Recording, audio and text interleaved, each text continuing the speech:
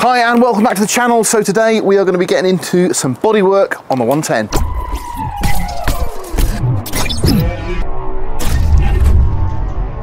The vehicle's definitely already had a paint job. So you can see, and I'll show some close-ups, where it's got the, the, the, original limestone white underneath and it's got like a brighter white over the top, which is obviously when it had its respray. We're going back to the limestone white, so it's a, a yellowish uh, vintage antique white.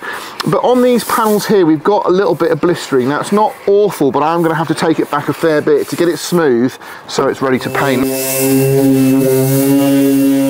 I'm just basically trying to get this basic paint off, but you can just see it's feathering. Look at this. So that's what you're up against when you've got a lot of filler. So behind here, it's really bad. So it's, it's just not worth hitting it with a, just a sanding disc. We're gonna have to go in there with a flat disc and just take that whole area back and then see what we've got and work from there. Okay, you can see pretty drastic, um, but that's where the culprit is. Look, you can see that's been tapped in to allow a skim of, a deep skim of filler.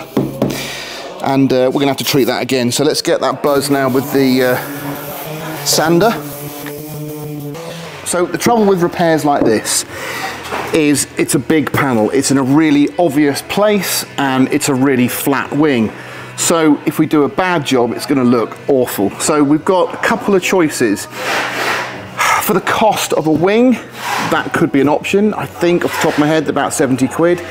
We could fit a wing in place. We've got good access. We, you know, it's probably a two hour job to take this wing off and fit a new one. Is that possibly a better option than doing the remedial work. I mean, we haven't gone through, there's no holes in this panel, so it does seem a bit of a shame to sacrifice it. So for the sake of filming, we will have a go at repairing this. I'm pretty sure we can get it to look quite nice, but you know, if it's gonna spoil the look of the truck, I'd rather spend 70 quid on a wing.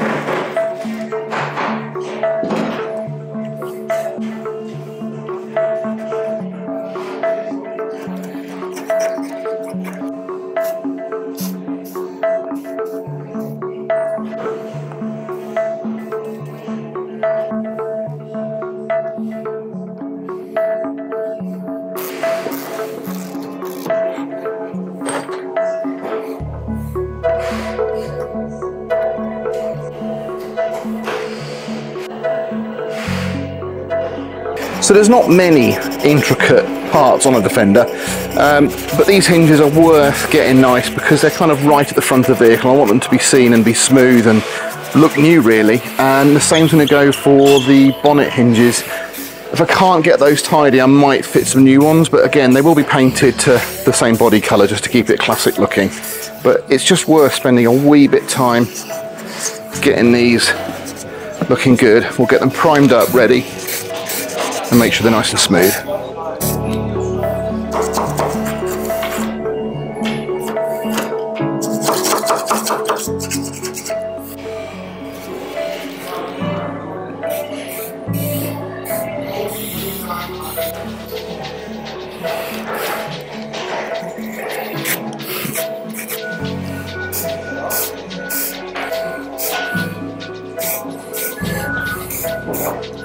Okay, so a little trick here. We want to be able to get underneath the seal. I don't want to take the seal off at the moment. I just want to make this, uh, just prime it and just, you know, get it ready for paint.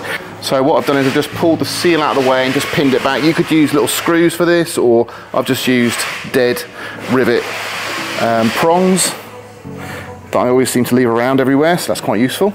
So again, we've got corrosion here. Um, behind here, so I'm trying to treat it, but it's just never ending. So that is why we're doing a temporary treatment to this bulkhead rather than repairing it properly. Um, I'm fully aware that it's not a re proper repair, but there is a good chance that we're going to be doing the bulkhead on this in the future. So we just need it to last six months to a year, um, which it will easily with what I've got in mind. But we're going to get that done. We'll get all this shaped, all this treated, and get it all primed up and ready so we know it's smooth and ready for paint. In the past, I've used some aluminium mesh, which is great, uh, works really well. But for this job, I got a massive roll of galvanized bricklayers support mesh. And I'm going to use that to create something to fill the void in here because what I want to do is actually uh, put some resin fiberglass in there to create the shape. Um, it's it should be fairly easy to do and by creating a void filler with this mesh, it'll still allow any moisture, any water, which I'm sure we're going to get, to run through here. Because obviously this has been caused because obviously something stopped water escaping from the bottom here, whether it be the old rotten, what, what dirt, whatever it was, it's all being cleared out now. So the last thing I want to do is, is actually create a blockage in there. So rather than use expanding foam, I'm using this mesh just to push it into the void.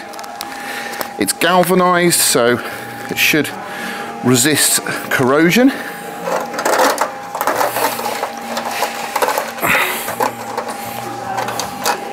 That's good. So get it wrapped up like this, look, and then get it pushed in.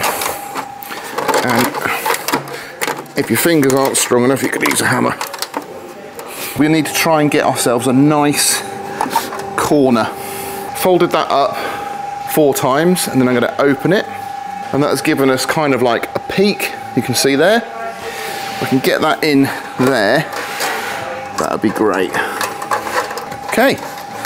Really really chuffed with that. So that is our structure back. So you can see there's our corner. And that should act as our strengthener. Give this a wipe down with some degreaser before we get started once we get our resin in there that'll lock it all into place Right, I'm going to be using this P40, which is a body filler for holes, so it's basically fiberglass strands. Now, what we're going to do is we're going to mix that with some traditional filler, because that means that once it's in there, we can sand it and we'll get a smoother finish rather than the rough coarse finish you get with that stuff. So it's like a, an intermediate finish before we finally coat it. So here is the mix. Now we've got regular P38 filler and we've got the P40 fibrous filler. We're gonna mix everything together and I've put quite a lot of hardener in there because I want it to go off quick. So we need to make sure it's all mixed up well into until it goes pink. So it's a creamier texture with that P38 filler in there but it has got the strength of the P40 so you can mix the two up. So this could get messy, well it will get messy but that's okay. and I'm going to try and push it in. So all we've really done is we've just basically given ourselves the ability to fill a big void and get some structure onto there which means we can then work with that. So we're going to let that go off. It's going to take probably quite a while and we'll come back to it. So while that's curing, it's worth mentioning that there are quite a few, as I said before, repair panels you can buy uh, that will do that job a lot better, but you do need access really to do the job properly, a welder.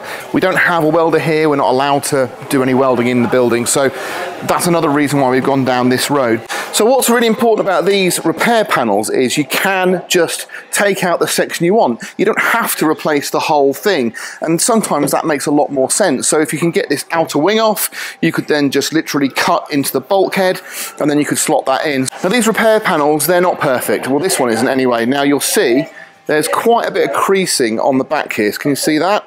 And the worst piece is probably that little lump there.